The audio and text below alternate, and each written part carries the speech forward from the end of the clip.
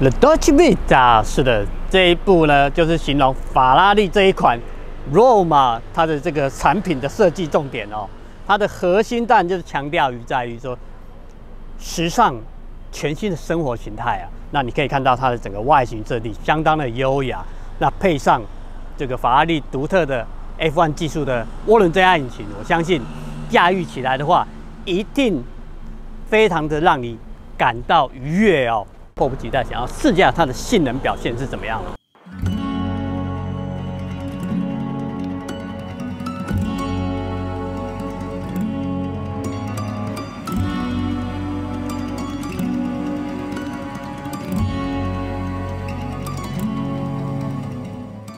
看到 Roma 的第一眼啊，我相信大家都会觉得这个跟印象中传统的法拉利那种赛车风格，跟比较外显的那种空力套件的那种。视觉的感官是不一样的，它显得比较优雅许多，相对第一眼你也会留下深刻的印象。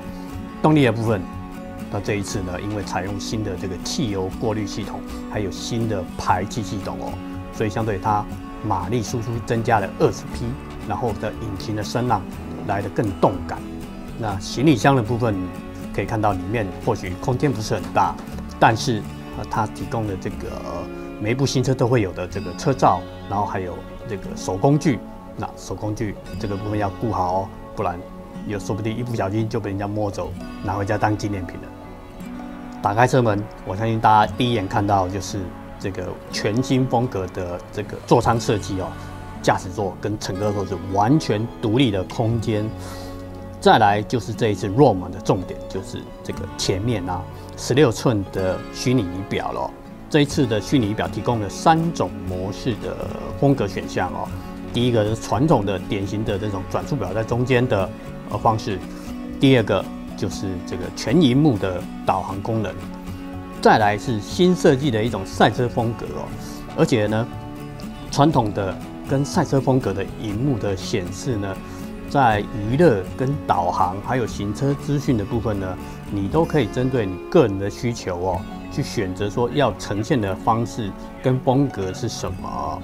另外，在这个 CarPlay 部分的同样，你接上手机之后呢，这个它会用镜像的方式哦，在这个虚拟屏幕当中呈现。再来，呃，副驾驶座前面呢，也有一个行车资讯荧幕哦。那这个部分当然就是最近这几年法拉利会提供给客户选配的项目，在 ROM 上面呢也没有缺席啊，让。副乘客呢，在车上的时候呢，也有参与感，知道说现在车子行驶的状态是什么样。当然说那么多，最后我已经迫不及待想要试驾这部车，想试试看 ROM 开在台北街头的感觉哦。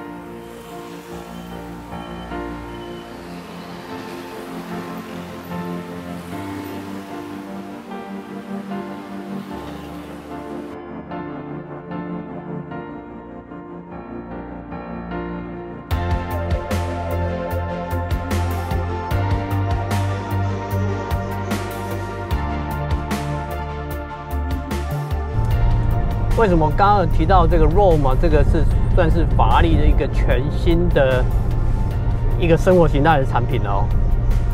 因为你看它车上除了我刚刚提到这些虚拟仪表之外啊，还有一个重点，它把 ADAS 也列入标配。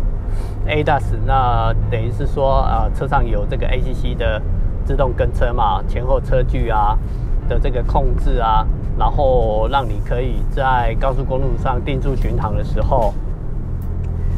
你不用去管油门，你只要定速按下去的时候，它就可以自动的跟着前车维持一定的距离，然后顺一直往前跑。然后，另外，它也可以有一些，比如说碰撞预警的功能啊，然后车道偏移的这个警示的功能啊，这些就跟现在大家对时下的这种修理车在购买时候的条件啊是一样的。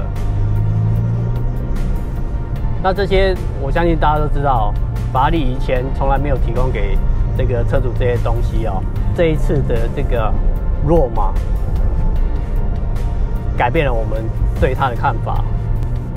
我们来看一下它的这个行车模式的切换哦。它现在这这马 n 定哦，它有 Wet 湿地模式，还有 Comfort 模式、Race 模式，没有 Sport 啦，Sport 模式，再来是 Race 模式哦，总共有哦四种选项，那比之前的三种选项要多一些哈，保守一点哈，我们来用 Comfort 模式好了。它的油门的反应真的，我才颠一下下而已，你就可以听到那个引擎的声音立即有反应哦。这引擎真的是，毕竟这一颗引擎哈，就这个法拉利来说，它其实已经很连续在这个引擎大奖啊拿了很多奖，所以相对它引擎的精度。其实非常高的，而且你在高转速运转的时候啊，转速经常都是以七千、八千转速在跑道上面跑哦。呼呼！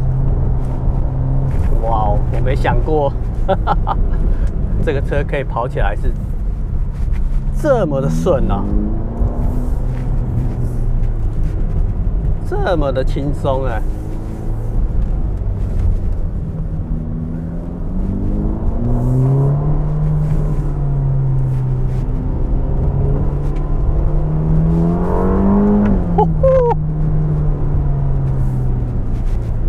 它这个油门下去的时候，哈，那个转速瞬间拉上去的感觉啊，你会觉得有点害怕。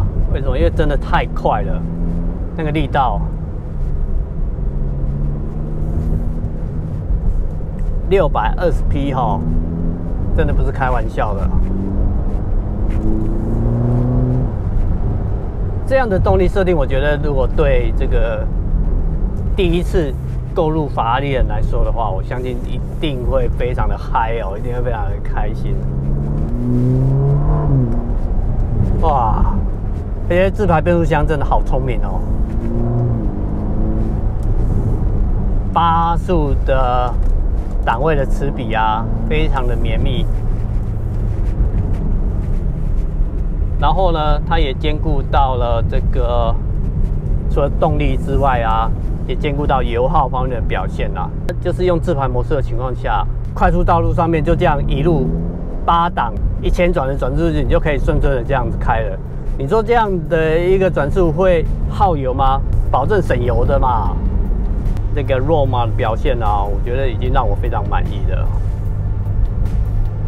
如果你已经订了这部车哈，一千两百八十万元嘛。我相信一定等迫不及待，想要赶快拿到车哦。但我比较幸运一点啦，比你们早一点时间开到这部车。